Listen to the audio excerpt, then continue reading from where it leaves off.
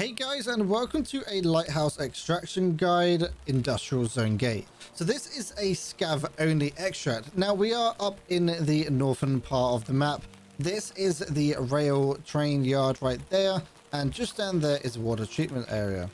Right here, you gotta watch out for those MG guns. People can jump on top of them, so just be careful. Now, the extract is if you just like you're heading towards the Road to Military Base Vehicle Extract section. Basically, there's two roads that run parallel as well, and you're going to be walking, wanting to walk along, as you can see, the um, not the tarmac, the gravel road.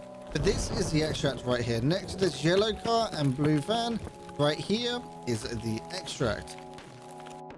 Hopefully you guys found this guide useful. If you did, don't forget to leave a like and subscribe or possibly consider joining the channel membership where you can unlock early videos as well as a few custom rewards. Don't forget to check out Piranha.tv as well. That's a one-stop shop for all of your guides, tasks, keys, all those kind of things in one location. Hopefully you guys found this guide useful and I'll see you in the next video. I was gonna say.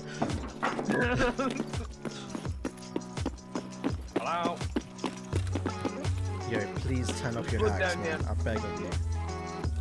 Two dead. Yeah, maybe we should see if we Oh, you're actually dead! There is someone!